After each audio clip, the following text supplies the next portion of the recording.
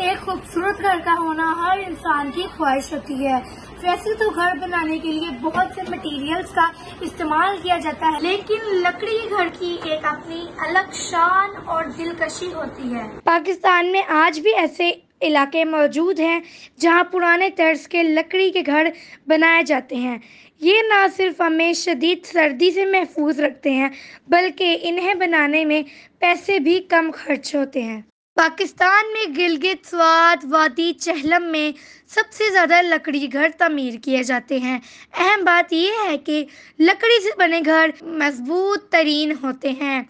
ये जल्द ख़राब नहीं होते और ज़्यादा अरसे तक मुरम्मत की ज़रूरत भी नहीं पेश आती। घर को एक जगह से दूसरी जगह बनाना हो तो ऐसी लकड़ी को दोबारा इस्तेमाल में लाया जा सकता है। लकड़ी के घर ज़्यादा तो पहाड़ी इलाकों में रहने वाले बनाना पसंद करते हैं, जो कि पहाड़ी इलाके फितरत के बहुत करीब होते हैं, इसलिए इन इलाकों में लकड़ी के घरों की ज़्यादा मांग होती है। दुनिया में जहाँ ईंटों और पत्थरों से बने घरों में जिद्दत आई, वहाँ लकड़ी से बने घरों को भी वक्त के साथ मजीद बेहतर बनाया जा सकता है। अमेरिका, शुमाली कोरिया जापान और इटली, वो ममालिक हैं, जहाँ अब भी लकड़ी से बने घर सबसे ज़्यादा मकबूल हैं इन पर मुख्तलिफ़ रंगों का इस्तेमाल करते हैं, जिससे ये घर इंतहाई पुरकशिश नज़र आते हैं Iman Fatima, value TV, Lahore We know the value of your property.